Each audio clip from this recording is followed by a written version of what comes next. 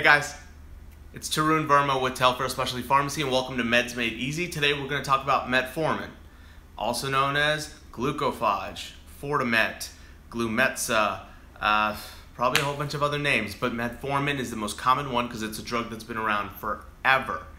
It is to lower blood sugar for type 2 diabetics. It is usually what we call first line therapy. When you first get diagnosed with diabetes, as long as it's not we didn't catch it too late in the process, you'll always get started on metformin. It is just the gold standard of insulin, of not insulin, sorry, uh, diabetes therapy. It's just your first line. Uh, of course, if you are diabetic, then you know you will be on a lot more medications that we're going to stack onto it, but the first one is almost always metformin. So, how does it work? The official definition, let me read it off because is a lot. It decreases hepatic glucose production, uh, decreases intestinal absorption of glucose, and improves insulin sensitivity. This is made, made easy.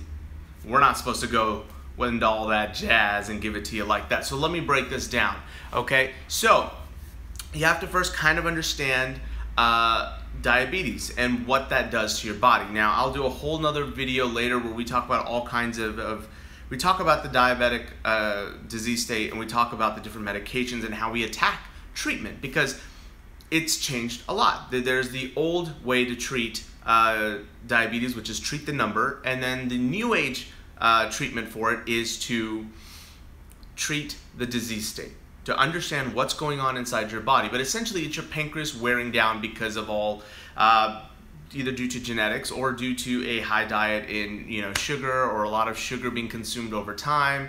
Your pancreas just isn't able to produce insulin. Now, whenever you eat a bunch of sugar, you can't let it run free in your blood for very long because it'll actually damage things. That's why people with, di with diabetes have nerve pain, you know, in their feet or in their hands. So um, insulin is released by your pancreas to store the glucose into your body as fat and not let it run around in your blood being crazy. So over time though, your pancreas, like any organ, like anything else, wears down. It wears down making all this insulin. So uh, what we have to do, which is why diabetics, you know, you obviously have to control your sugar, but at the same time, we give you meds to maximize what your body can do. So once you become diabetic, diabetic and you're in that diabetic disease state, it, your pancreas is officially at a point where it's not at 100%. And it's slowly going to dwindle, dwindle, dwindle, dwindle down until it doesn't function anymore. And when it doesn't function anymore, you start taking insulin. Okay, I went way too much into that, but let, us back right up into metformin. So what does metformin do?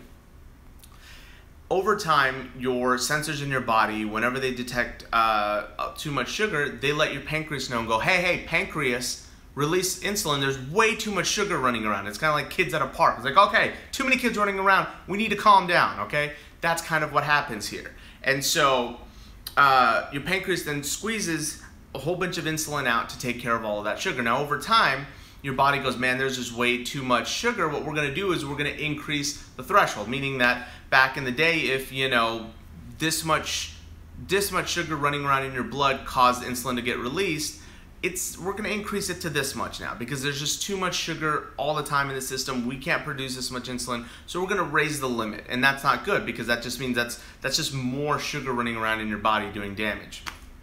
So what uh, metformin does is it decreases that threshold again, so that now when that that little bit little bit amount of sugar gets into your body and it hits that amount, your body goes, hey hey, pancreas, do your thing, get us some insulin so we can take care of this, and that's what metformin does in, in its most basic, most um, effective form. Uh, yes, it does decrease intestinal absorption of glucose, meaning in your intestines. You, that's where you know where whenever you eat, all your nutrients and stuff get absorbed from all the food you eat in your intestines. This prevents the sugar from getting absorbed, or at least as much as it can, decreases the amount of sugar that gets absorbed into your bloodstream. So, and then decreases hepatic glucose production again. Your body can also make glucose. So, say you're some one of those people who don't eat a lot of sugar, you do need some glucose in your body it'll break down your fat and use that as glucose. Um, and so what it'll do is it'll prevent your body from actually breaking down the fat and making glucose because it's going, hey, your body already has enough sugar in its body or it's, it's already been through enough. Uh, we don't want more sugar running around. Or sugar is the same thing as glucose, by the way. I'm so sorry. I should have made sure that uh, we were clear on that. Glucose is the same thing as sugar. Glucose is just the medical term for it. Uh, and so we, we want to make sure that there's not too much glucose running around in your body, free glucose. So beyond that, uh, there is a black box warning um, for lactic acidosis. Um, I have spent so much time researching this on how to explain it the best way possible, and I can't. I just can't. It is very complicated. There's no easy way to explain lactic acidosis, so I'm just going to say go talk to your doctor about it. Um, your doctor should already be monitoring your levels anyway to make sure if something like this happens. Um, but people who have liver issues, this is linked to uh, lactic acidosis. And so this is one of those things that you just want to make sure you're going into the doctor's office regularly, getting checked up so we can just kind of prevent this because it kind of, uh, it's a metabolic disorder. Uh, that can kind of come out of nowhere or can kind of build up over time and the symptoms slowly come on and it, it, but there's a black box warning for it that a lot of people have been hurt by it um, and this medication has been involved in kind of help accelerating that. But please talk to your doctor. They can give you a lot more information. And hopefully they can break it down because it is it is not an easy thing to explain. It's very very complicated. It, it requires me to go into the Krebs cycle and the ATP process. I don't I don't want to get into that. That's just too complicated. Um, but talk to your local pharmacist, your local doctor about that. Um, also, same thing with liver issues. So, so same thing with liver and people with renal issues. If you're on dialysis, metformin is something that needs to be its dose needs to be adjusted based off of if you're on dialysis or what your renal function is if it's not 100% anymore.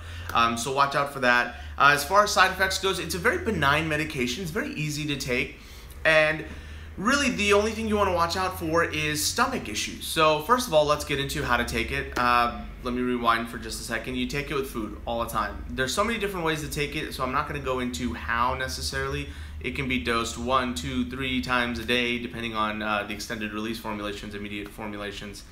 But uh, the side effects are all kind of the similar, are all kind of the same. It's a lot of uh, stomach issues, uh, nausea, vomiting, um, in a very small amount of population, and it is kind of common to see, you will always kind of get like a mild form of diarrhea while you're on the medication. And if that happens to you, then we need to, you know, switch you onto a different formulation or maybe just take you off of metformin. In general, most of the time, most people can tolerate the mild diarrhea. Um, it's just maybe like an extra bowel movement a day. So I don't want to say diarrhea necessarily. It's just another bowel movement. And so um, the, the drug works great except for, you know, these, these sort of stomach issues. So if that's an issue, let your doctor know. Um, flatulence is another big issue, uh, which is a fancy word for farting. So if you fart a lot, then, you know, let your doctor know. If it bothers you, if this stuff doesn't bother you, I have a lot of patients who go, hey man, this is really controlling my blood sugar. I'm going to go ahead and just like, you know, be okay with these minor side effects. The side effects aren't major or anything. You know, the, the extra gas, you know, that happened if you eat a, you know, you eat a whole bowl full of chili one night. Same sort of thing. You know, it's not like way worse than that. So um, if you can tolerate it, it's a great drug to take. Again, it's a gold standard for uh, type 2 diabetes uh, therapy. Um, but if you can't, just let your doctor know. And nausea and vomiting, those kind of same stomach issues that a lot of medications have. That those are kind of common with this medication too. Uh, beyond that, I think that kind of takes care of the 101 of what you should know of metformin. Um, again, it's diabetes is something that is very close to me. Um, so I always go out of my way to kind of make sure that people understand diabetes because it's very common and it's very complicated.